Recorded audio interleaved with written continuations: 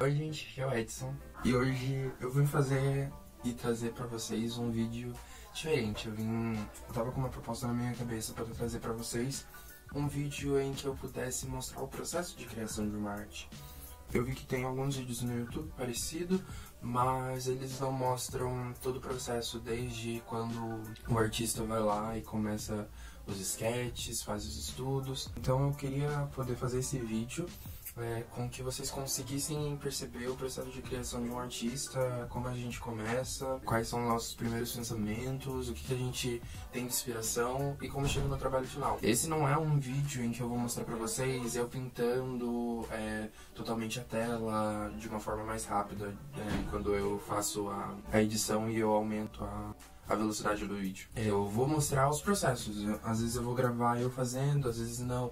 Então vocês não vão ver eu realmente pintando desde o início. Vocês vão vendo os processos, os meus estudos, o que me gerou aquilo, as dúvidas que eu vou tendo durante. Então eu vou falar pra vocês como que vai ser isso. Eu tô com uma ideia dessa obra que eu vou fazer.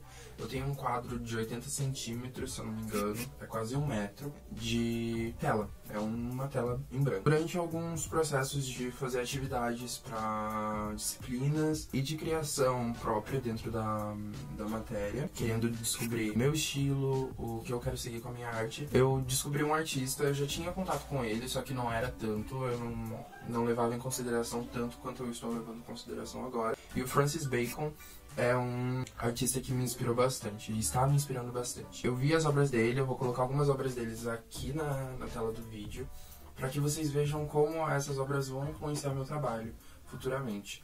Eu acho que essa troca, esse intercâmbio de pensamentos e de ideias, principalmente da parte figurada da obra do, do Bacon, eu correlacionei bastante com o que eu quero aprender. É, e dentro da minha produção, eu quero chegar numa forma em que eu brinque com cores, eu consigo utilizar cores com pinceladas expressivas, só que eu quero desconstruir essa forma figurativa. Então, vendo os trabalhos do Francis, eu tive algumas ideias. Esse é um estudo de cor. Esse é um estudo de cor a partir do Matisse.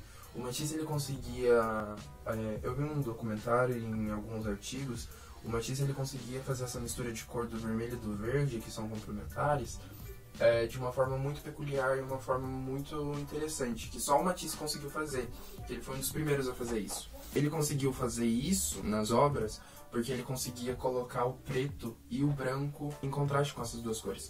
Porque se não tivesse preto e nem branco nas composições do Matisse, em que ele usa vermelho e verde, elas ficariam muito, muito contrastantes e talvez não faria tanto sentido. Eu tentei fazer esse estudo de cor, que é um estudo só, inspirado no Matisse, que é o vermelho, o verde, o preto e o branco.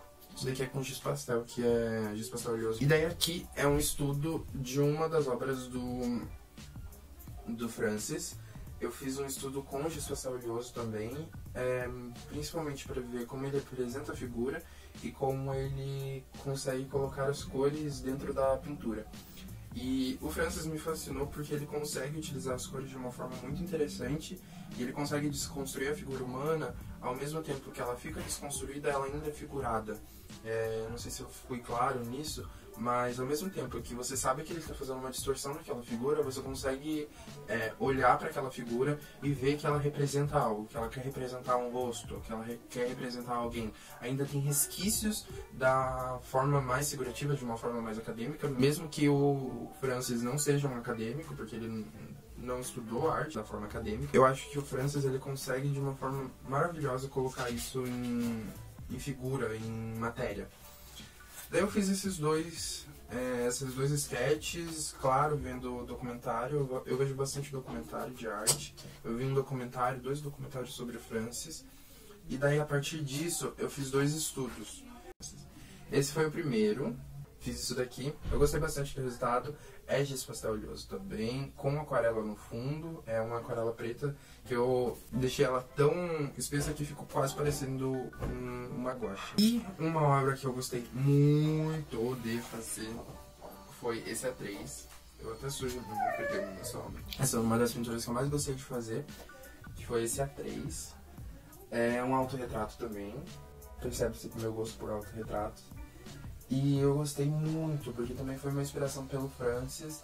Eu gostei muito de como eu consegui resolver as formas e como eu misturei as cores. Eu acho que essas cores conseguiram conversar entre si e elas fizeram bastante sentido dentro da composição. Mas é isso, essas são as minhas primeiras ideias. Agora é, eu consegui fazer um autorretrato. A minha ideia é fazer um autorretrato dentro daquela tela grande que eu, que eu tenho ali. Não sei se eu vou conseguir fazer um autorretrato ou se eu vou mudar para outra ideia.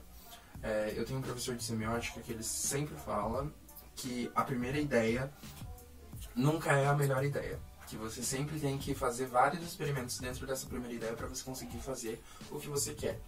Então, a minha primeira ideia era fazer um autorretrato. Eu mudei para fazer um negócio para representar a angústia. Só que daí eu queria representar a angústia dentro de um autorretrato. E daí eu quero juntar isso fazendo um autorretrato de um corpo. É, do meu corpo. Mas daí eu não sei. Eu tô com muitas dúvidas, mas eu acho que esse processo vai ser bastante interessante e eu vou gostar bastante de levar vocês. Eu vou fazer alguns sketches, alguns esboços e eu mostrando pra vocês é isso. E é isso. Oi, gente, eu voltei. É, desculpa minha cara de eu acabei de acordar, porque eu literalmente acabei de acordar. E eu tô. Eu tô com uma roupa que eu me sinta confortável para fazer as coisas que eu quero fazer hoje. É, fazendo uma pesquisa, entrei no computador para pesquisar um pouco mais sobre o bacon. É estranho falar bacon, né? É, e fazendo essas pesquisas sobre o Francis, eu encontrei uma pintura dele chamada Figura Sentada. É de 1961, tá na tela para vocês verem.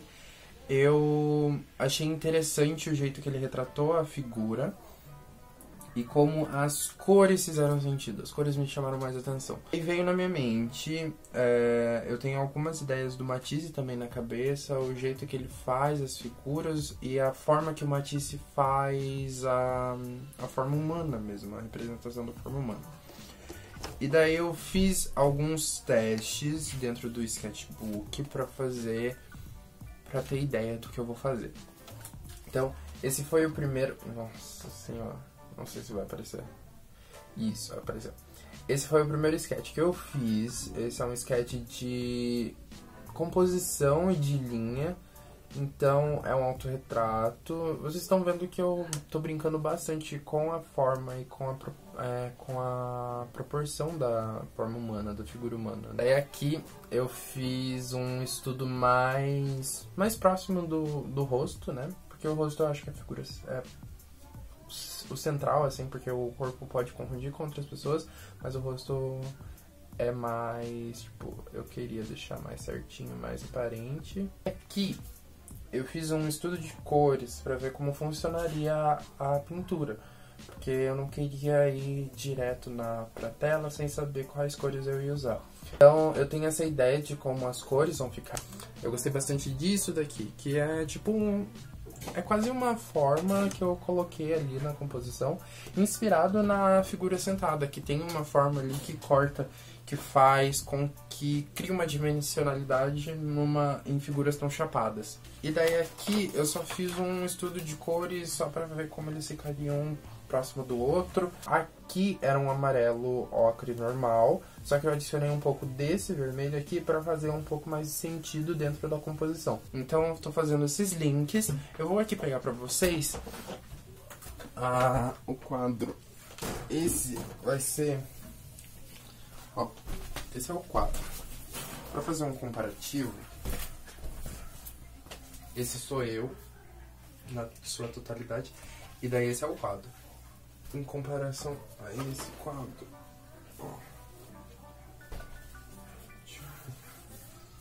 Ele é bem grande.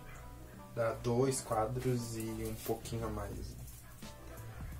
Então, vai ser o maior quadro que eu vou fazer. Vai ser meio louco fazer esse quadro. Eu acho que eu vou fazer assim, em forma de retrato mesmo, não em paisagem. Fazer em retrato. E eu vou mostrando pra vocês as... Como eu vou fazendo. Estou ansioso. Gente, eu trouxe as coisas aqui pra fora. Eu vou fazer o sketch aqui no quadro com azul, porque eu não tenho vermelho em acrílica. Deveria ter visto isso. E aqui estão minhas tinta óleo. Aqui tá certinho. E aqui tá a pintura, só pra eu ter referência. Eu vou até voltar aqui, ó. Só pra eu ter a referência da pintura.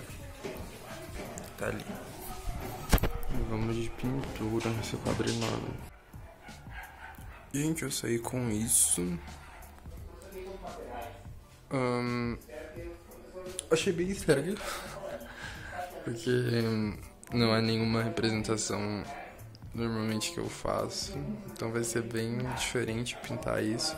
Mas eu quero me propor a fazer para ver o resultado final. Então é isso. Agora eu vou começar a pintar com óleo. Vou deixar secando essa camada de acrílica azul que eu fiz. Daí eu vou começar a pintar com óleo. Então, gente, eu tô nessa, nesse estágio.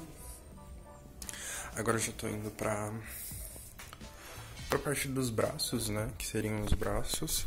Mas o rosto eu acho que eu terminei. Eu gostei bastante, assim, pra primeira vez que eu tento desfigurar uma figura. Então, eu vou mostrar pra vocês a minha paleta. As, as cores que eu tô usando aqui, primeiramente na pele, são amarelo nápoles, o branco de titânio, o preto. Tô usando também violeta dioxazina. E o a sombra natural, que é um ela é um pouco esverdeada, não tá focando. Ela é um pouco esverdeada. Mas a minha paleta tá assim. Tô olhando aqui, eu olho a, a referência ali também. Eu vou fazer esse daqui. E daí eu acho que eu passo pra, pra roupa, né? Porque o fundo vai ser um vermelho com azul. Então ele vai dar um contraste. Isso daqui parece estar tá bem escuro, né? Porque ele tá com contraste com o branco. Quando ele tiver contraste com o vermelho, talvez isso daqui clareie um pouco mais. Até mesmo esse amarelo que tá meio sujinho. Mas eu fiz questão de sujar as cores. Você pode ver que as cores aqui, elas estão sujas, aparentemente, porque eu misturei com preto. Eu não fiz a... Eu não desaturei as cores com a complementar. Eu usei o preto mesmo, porque eu queria esse negócio com cinza. E tá isso. A minha gata tá aqui atrás de mim. E eu vou continuando e eu já volto pra mostrar pra vocês como tá ficando. Gente, cheguei nesse estado. Eu já fiz a roupa, eu fiz em tons de azul. Eu vou chegar mais perto para mostrar para vocês. Tá vendo os movimentos circulares que eu fiz? Eu tentei replicar o que eu fiz aqui. Ah, gente, não liga pro meu dedo sujo, é dedo de gente que pinta, é tinta óleo. E aqui embaixo também. Agora eu vou passar pro fundo, que é uma parte mais vermelha. Isso daqui vai vir pro final. E se eu quiser. eu não sei se eu vou fazer, mas tá. Se eu olhar de longe, que é como tem que olhar uma pintura, tá no. tá do jeito que eu quero. Tô gostando. Gente, terminei a pintura! Meu Deus! Um, terminei a pintura, vamos chegar mais perto para ver como ela ficou. É assim, essa é a visão de longe de como ficou. Eu gostei bastante da composição, gostei dessa parte aonde estão as linhas. É, uma coisa que aconteceu, que eu não estava prevendo, é que tem aquela aguada em azul que eu fiz, né, que eu mostrei para vocês. Eu usei magenta e uma tinta que ela é transparente, dá pra ver até na aqui na Tá vendo que esse quadradinho tá branco? Isso significa que a tinta é transparente, pelo menos nas tintas da Corfix. Vou mostrar aqui uma tinta para vocês que é preta.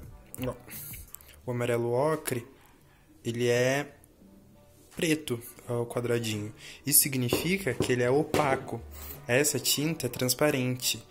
E essa daqui, eu tenho uma outra aqui, que é esse carmim aqui, ele é semi-transparente. Isso significa para é uma informação para trabalhar velatura. É, velatura na pintura é outra coisa, é um trabalho mais demorado, você espera secar para fazer a outra camada. Então é diferente de uma ala prima. Isso daqui é uma ala prima que eu fiz e já terminei. É, mas eu gosto bastante da materialidade da tinta, que é quando a tinta ela sai para fora, sabe? Ela tá presente aqui, ó. Gostei muito dessa parte da roupa. É, o rosto, eu gostei de ter trabalhado ele. Acho que fez sentido. Eu acho que eu vou trabalhar mais um pouquinho só no rosto, mas eu acho que tá finalizado e eu fiquei bem feliz. E daí, puxando que eu pulei, né? Eu comecei a falar sobre a, porquê da tinta ser transparente. Daí eu fiz aquela aguada em azul e como a tinta magenta é transparente, ela fez aparecer o sketch. Só que não achei que ficou estranho não, acho que fez sentido para composição e acho que vou implementar isso. Isso isso meio que um acaso que aconteceu na pintura e eu acho que foi fez sentido. Então é isso, eu já volto para falar com vocês. Oi, gente, voltei. Um momento. Se você veio da Lápis Art, você vai entender tudo esse processo, porque eu mudei de roupa, porque eu tô com esse óculos, só faltou minha bolsinha. Mas. É. Tcharam! Eu terminei a, a obra, a pintura. Eu gostei bastante de fazer.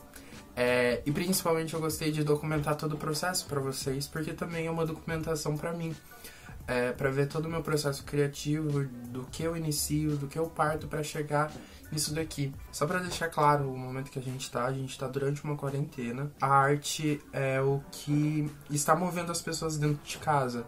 É, as pessoas que não valorizam a arte agora estão vendo Netflix, estão é, vendo lives no Facebook, lives no Instagram dos seus artistas favoritos, estão vendo vídeos de pintura na, no YouTube. Isso mostra a importância da arte. A arte sempre está aí, a arte sempre vai é, estar aí, né? Claro que a arte é uma coisa elitista, principalmente as artes básicas. Coloco muito entre aspas porque não é esse termo que eu queria falar, mas eu vou usar esse termo só para conseguir contextualizar mas essas artes como pintura, escultura, a arquitetura são, são mais distantes, né? Se tornam mais distantes porque ainda são de elite. Então, dá gente para fazer. Tem muita coisa para fazer em arte, você pode fazer em casa, você não precisa ter todos os materiais que eu tenho. Eu tenho alguns materiais que eu só tenho porque eu estudo arte, porque eu gosto de produzir. Você pode fazer com guache, você pode fazer com guache escolar, você pode fazer com acrílica, você pode pintar, você pode fazer é, escultura de massinha de modelar, você pode reapropriar um objeto. Isso é uma das coisas que eu mais gosto da arte também, é que você consegue reapropriar um objeto para conseguir transformar ele em arte. Também a gente tem que tomar cuidado para que a arte não se torne só entretenimento, porque a arte não é só entretenimento, também é uma forma de conhecimento. Mas esse momento ele mostra pra gente com a importância da arte, a importância da gente ficar em casa também. Então não saiam de casa durante a quarentena. Eu sei que tem algumas pessoas que precisam sair porque não foram liberados do emprego, daí a gente tem que mandar aquele aquele xingão pro emprego, pro empresário. Mas é isso, gente. É, eu adorei fazer esse vídeo. Qualquer dúvida que vocês tenham sobre pintura, sobre arte, sobre faculdade de arte, vocês podem deixar no comentário aqui embaixo, que eu vou ler tudo. Eu vou divulgar minhas redes sociais. Eu tenho duas redes sociais principais, que é meu Instagram de arte. Meu Instagram é, é pessoal é privado, então eu não compartilho. Mas meu Instagram de arte é o LapisArt Underline. Tá aqui na tela, vai aparecer para vocês. Lá eu posto todos os meus processos também, meus trabalhos finalizados. Eu faço encomenda de ilustração, então eu nunca fiz uma encomenda assim. Eu tô com. Eu faço uns devaneios, né? Mas eu tô com uma encomenda da minha amiga Arielle, que eu tenho que fazer cinco quadros para ela. Eu tô, eu tô fazendo uma vibe assim de é, pintor renascentista, que demora quase cinco anos para fazer uma obra. Então eu tô deixando, mas é só procrastinação mesmo. Eu posto isso, eu faço encomendas, faço ilustração digital, faço a ilustração tradicional também, faço as pinturas, você pode ver minhas outras pinturas lá. É, e eu compartilho mais um pouco do mundo da arte lá também. E eu tenho meu Behance, que é onde eu coloco as coisas mais formais, tipo, mais bonitinho, as, as fotos e tudo mais para vocês terem conhecimento da minha arte. Então é isso, espero que vocês gostem. Se vocês gostaram, compartilhem com os amigos de vocês, é, comentem aqui embaixo, dão uma curtida aqui embaixo também, porque me ajuda bastante e mostra que eu tô no caminho certo. Fiquem em casa, é, usufruam muito da arte, porque a arte está aí para isso. A gente tem que se conectar com a arte, e mesmo quando ela for elitista, você que está fora dessa elite, você pode se conectar com essa arte e tem que colocar o seu lugar ali. Então é isso e até a próxima.